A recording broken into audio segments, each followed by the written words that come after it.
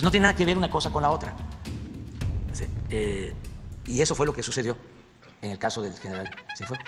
Y así como salí yo a defender al general Cienfuegos, porque percibí de que era una injusticia.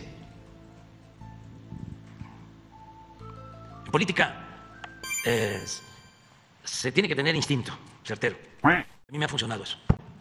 Entonces, así como salí a defender, decir, a ver, ven, tráigame todos los... Está muy raro esto.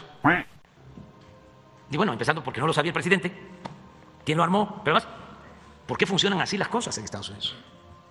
¿Por qué tanta fuerza de estas agencias? O sea, los debe llevar a un replanteamiento sobre sus procedimientos en lo interno, con todo respeto. Bueno, pero así como yo actué, ¿por qué? Si Calderón dice de que García Luna es inocente, ¿por qué no lo ayuda si es abogado Calderón?